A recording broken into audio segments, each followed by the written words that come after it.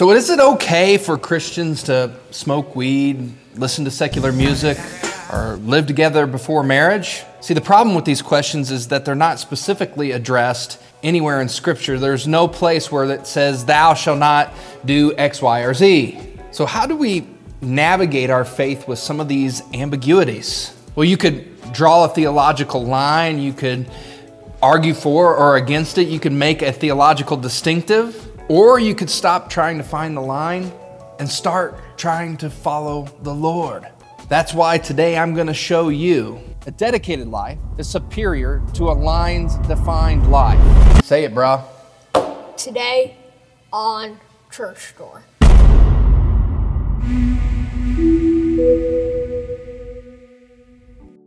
Author and Rockford native John Ortberg said this There is an immense difference between training to do something and trying to do something. Anyone who spends time training for a sport, a trade, or an artistic discipline will tell you that they did not arrive at excellence on their first try.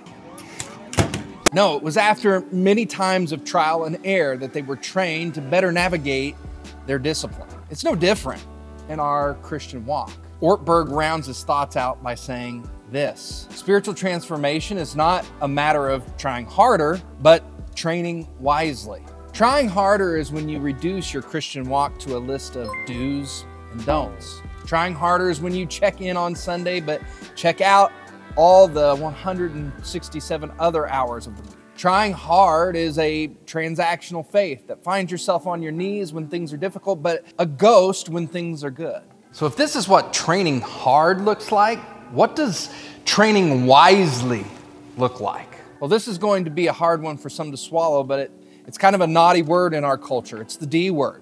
You know it. Discipline. Now, I can hear some of you growing like, what do you mean? I need someone to smack me on the back of the hand when I do something wrong?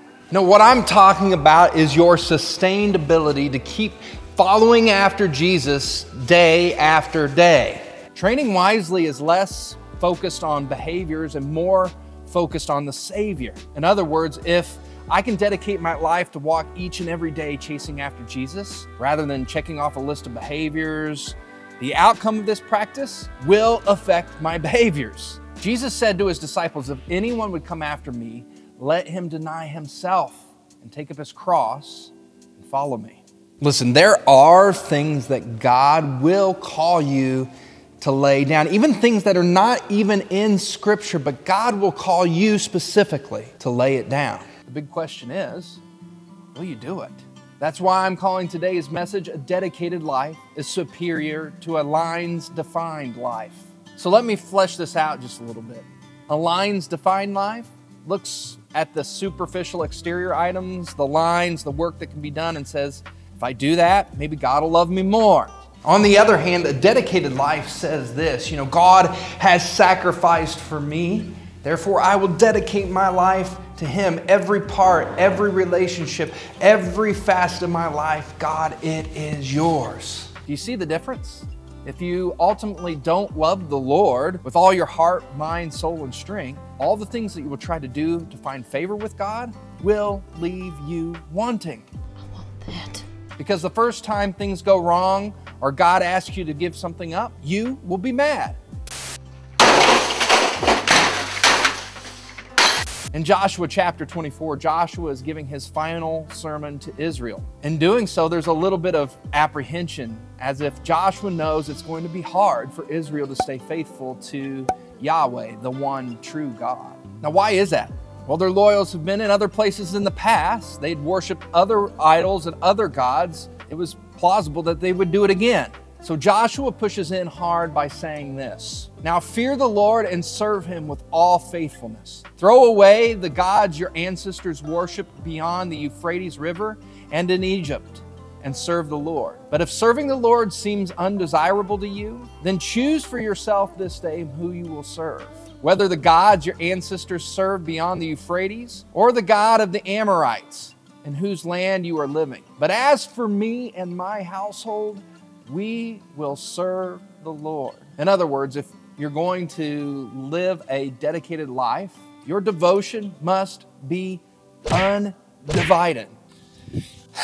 See, the real truth is, friends, there are a lot of people out there walking around with Christian as their label. But if you look hard enough online, anywhere, you will find all kinds of things that are mixed in with the Christian label. Christian tarot, Christian pornography, Christian cannabis, you name it, it's probably out there. Yet Joshua's message to God's people was this there are not additives to the Lord. So you must choose either the idols of the past or the Lord. But as for me and my house, we will not have divided loyalties. My house will serve the Lord. Of course, there's a lot of people out there watching this today, and you're thinking, Ian, I don't serve any other gods. Well, let's put that to the test.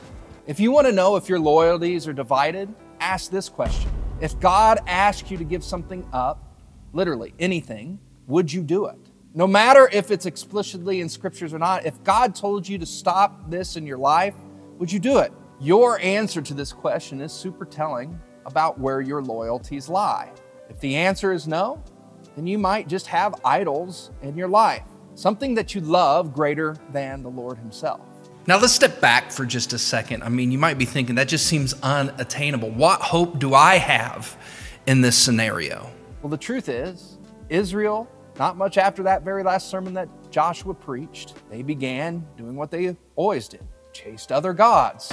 They wavered in and out of faithfulness until one day God gave them over to their enemies and exiled them from the blessing of the promised land.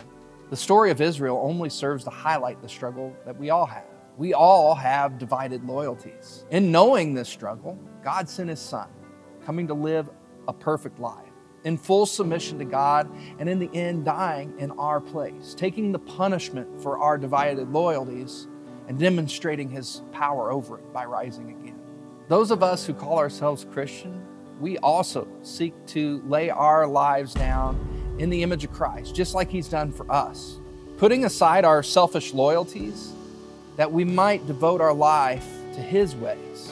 And his way was to love God and to love others. And by doing that, we fulfill every law that God has made. If you're watching this video today and you've never given your life to Jesus Christ, if you want to give your life to Him today, reach out to us. We've got a team of people here that want to walk with you. You can text us down in the comments or you can text prayer to the number that you see coming up on the screen right now. Help us promote great Christian content by hitting that subscribe button and the notification bell so that every single time we put out a piece of content, it's coming directly to you. Or you can go the extra mile by going to rivervalleyrockford.org slash give and making a donation there. Every single cent that comes in goes right back out to help people just like you take their next step with Jesus. We're so glad that you've come to be here with us today. And we pray blessings on you as you go into this next week. We're just now wrapping up our series in the book of Joshua. If you want to catch up, go ahead and hit that button right in the center of the screen to catch up with us.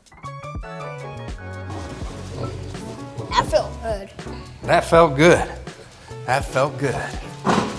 Oh, my tongue.